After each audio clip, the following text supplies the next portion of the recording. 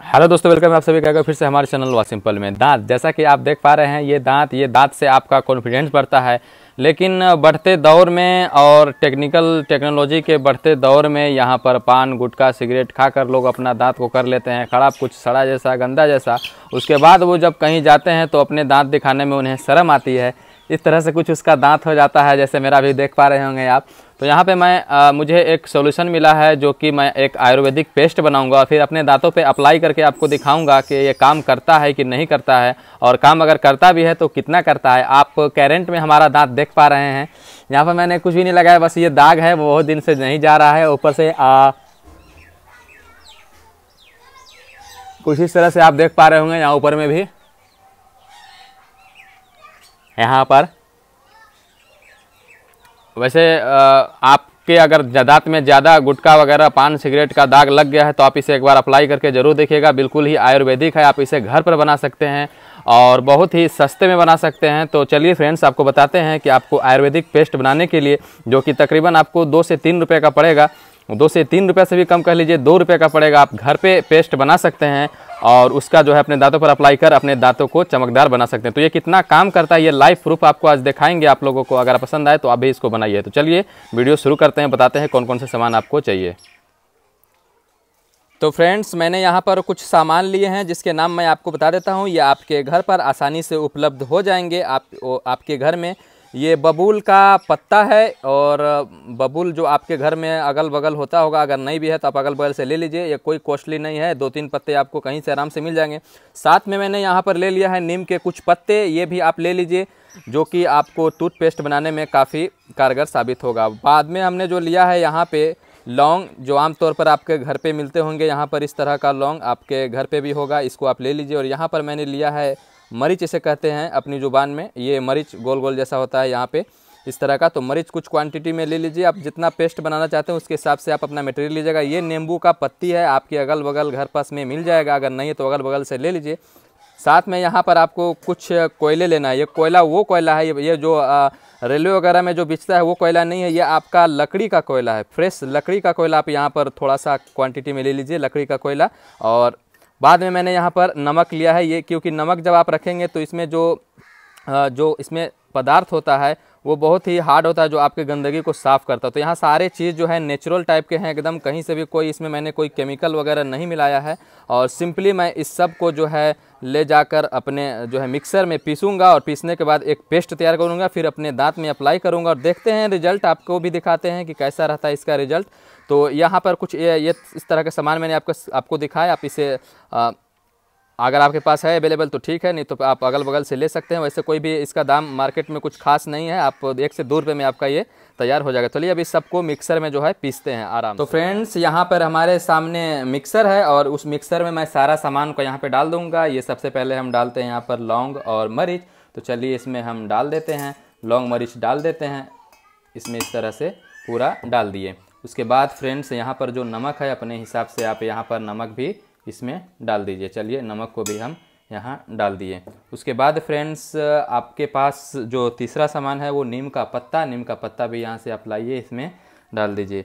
फिर आप अपना, फ्रेंड्स, उसके बाद जो आपने यहाँ पे कोयला लिया था और नींबू का पत्ती, उसे भी आप यहाँ पे डाल दीजिए। तो चलिए, इसको भी हम डाल देते हैं। उसके बाद, फ्रेंड्स, यहाँ पर कुछ बबूल के पत्ते हैं। बबूल के पत्ते भी इसको हमने इसमें डाल दिया इस तरीके से। अब ये जो सारे चीज़ आप डाल रहे हैं इसमें, वो आप अच्छी तरह से धो लेंगे ताकि आपको परेशानी, कोई दिक्कत ना हो। इसमें जम्स वगैरह जो लगे होते हैं पेड़ पत्ती पे तो उसके लिए आपको इसको बढ़िया से आप धो लीजिएगा। अब चलिए, इस जार को जो है हम चालू करते हैं और इसको पीसते हैं, उसके बाद देखते हैं कैसा हमारा जो है यहाँ पे तैयार होता है। तो चलिए, अब हम मिक्सर को ऑन करते हैं। यहाँ पर मिक्सर को कर देते हैं हम ऑन। यहाँ पर हमारा कुछ इस तरह से पीस रहा है। उसके बाद आपको दिखाएँगे कि आपका मिक्सर जो है कैसा तैयार होता है।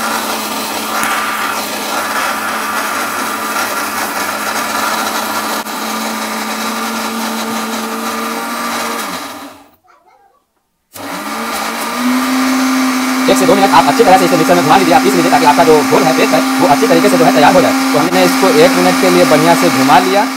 तो फ्रेंड्स आप यहाँ पे देख पा रहे हैं आपका मिक्सर जो है बहुत अच्छे से तैयार हो चुका है। अब इसे हम ये कटोरी में ढाल लेते हैं और उसके बाद अपने दांतों पे अप्लाई करते हैं। और देखते हैं रिज़ल्ट कैसा इसका रिज़ल्ट आता है।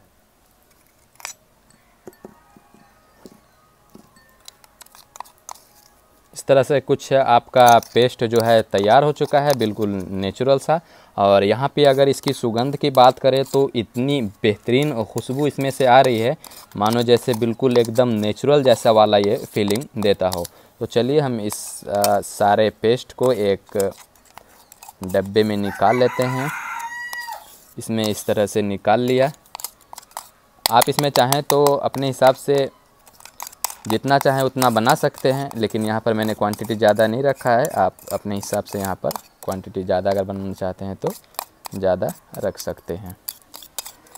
सुगंध की बात करें अगर फ्रेंड्स तो सुगंध तो इतना बेहतरीन आ रहा है कि देखिए इस तरह से हमारा कुछ ये तैयार हो चुका है, जो कि बिल्कुल नेचुरल सा है एकदम। चलिए अब करते हैं इसको अपने दांतों पे अप्लाई और देखते हैं इसका रिज़ल्ट तो चलिए फ्रेंड्स अब इसको हम अपने दांतों पे अप्लाई करते हैं और फिर देखते हैं क्या रिज़ल्ट आता है?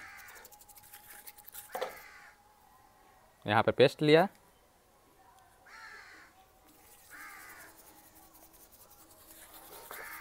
स्वाद की बात करें तो आपको यहाँ पे थोड़ा कड़वा लग सकता है। तो इस तरह से अच्छे से आप पूरा मिक्स कर लीजिए।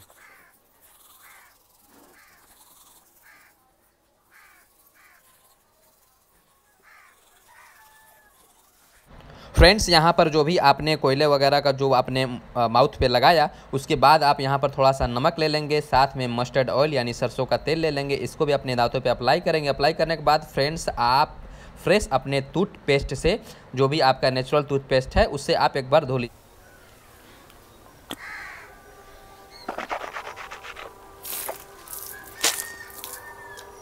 तो सारे चीज़ फ्रेंड्स अप्लाई करने के बाद आप देख पा रहे हैं, यहाँ मैं वही कैमरे से यूज़ कर रहा हूँ ऐसा कोई दिक्कत नहीं है कि मैं दूसरे कैमरे से यूज़ कर रहा हूँ। आप नात में मेरा चेंजिंग देख पा रहे हैं।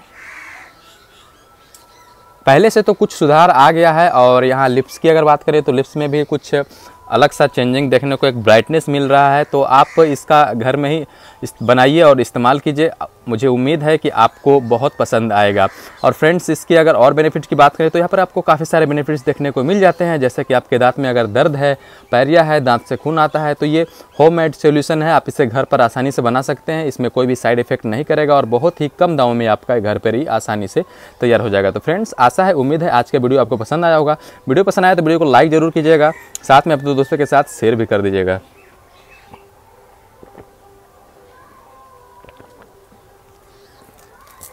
और हाँ चैनल को सब्सक्राइब ज़रूर कर लीजिएगा और बेल आइकन प्रेस कर दीजिएगा ताकि जब भी मैं फ्यूचर वीडियो डालूँ, उसका नोटिफिकेशन आपको जल्दी से जल्दी मिल पाए। चलिए मिलते हैं नेक्स्ट वीडियो में और फिर वीडियो के साथ। तब तक के लिए विदा दीजिए। Take care bye bye